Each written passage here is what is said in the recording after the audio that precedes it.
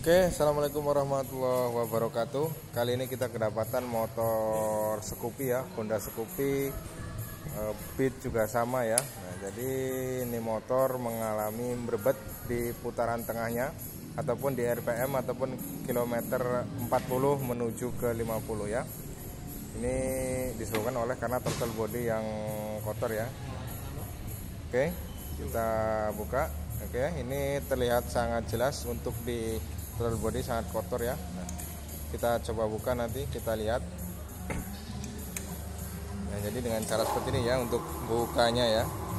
Oke.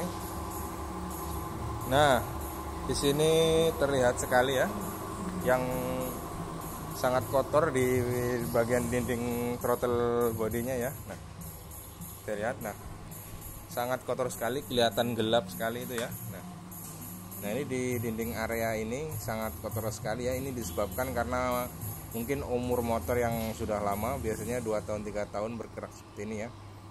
Oke kita lihat. Nah ini ya kotor juga ini. Nah, nah ini nanti akan kita bersihkan menggunakan carbo cleaner ya. Nanti bisa dilihat perbedaannya. Oke. Oke kita semprot-semprot menggunakan carbo cleaner ya. Jadi seperti ini cara pembenahannya ataupun pembersihannya kita semprot. Nah Nah itu terlihat sekali ya rontok untuk kerak-kerak yang menempel di dinding throttle bodinya. Oke, nah, mungkin seperti itu ya cara membersihkannya ya.